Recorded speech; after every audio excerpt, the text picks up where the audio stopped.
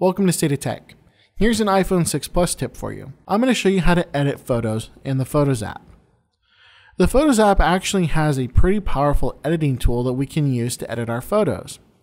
So if I were to select a photo, say this one for example, of the egg that we were trying to fry on our parking lot yesterday in the hot summer heat, I can actually edit this to make it maybe look a little bit better and stand out. So tap the edit in the top right hand corner when you're in a photo and it brings you into the editing mode.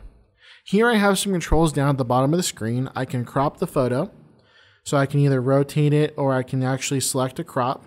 So here I have a free crop right now, but tap in the bottom right hand corner and I can actually choose some actual perspectives. So this one I want to do a square crop, we'll just tap square and notice now that I'm cropping my photo into a square format. And I can move it around I have the option of rotating it to try and straighten the photo a little bit. So I think that this crop right here works pretty well, but I can also pinch to zoom in and I can use this to go ahead and get the photo in a little bit closer. I think that right there looks pretty good, so we'll just leave it at that. And now I'll tap done. It saves that crop and my photo has been cropped. But if I wanted to keep going, I'll tap edit again and I can add in a filter now these are all the filters that you can access from inside the camera when you're taking a photo. So I have some of these basic filters that are built into my phone that I can use if I wanted to. I'll leave it at none for now. The next button is going to be some of my adjustments. I have light, color, and black and white. Tap on the light. Here I can change my exposure, highlights, shadows, brightness, contrast, and black point. The color, I can choose my saturation contrast. And then black and white, I can turn the photo into black and white. So there are quite a bit of actual editing abilities that I can choose from. I'll choose the light for now. And here I can actually make some adjustments to the photo by sliding on the bottom of the screen. Notice it's kind of brightening up the photo a little bit. That looks pretty good. I can tap over here on this little three line icon and it's showing me what values have been adjusted. Our last little button is that circle with the three dots in the bottom of the screen. This is our app extensions.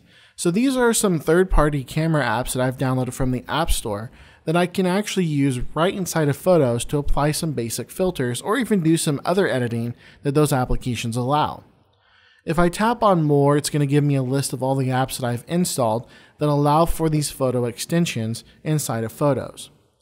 So I'm going to go ahead and tap on Camera Plus, and this looks basically like the Camera Plus app, except I'm not having to import my photo into Camera Plus. And this can be really useful because they have some more advanced editing tools that I might find in the Photos app. Even though the Photos app is really powerful by itself, I might prefer using another app. And in this one specifically, there are a few more filters for me to choose from because I have purchased some of these filters from the App Store. So now if I were to select on one of these filters, I see the preview of it, and if I tap done, notice that filter has been applied to my photo, and now I'll tap done, and the whole entire photo is now completed and saved. But maybe I want to take the photo back to its original state. Maybe I'm not happy with this anymore. Tap Edit in the top right hand corner, and in the bottom right hand corner, tap Revert. This is going to revert the photo to its original status. Notice it's no longer cropped or filtered or has any sort of enhancements on it. So that is called non-destructive editing. It doesn't actually damage the original file. It just kind of adds all of your modifications on top of it. It takes up a little bit more storage on your device, but I think it's worth the actual benefit because you can always go back to the photo if you would choose to do so. So that is how you edit photos in the Photos app on your iPhone.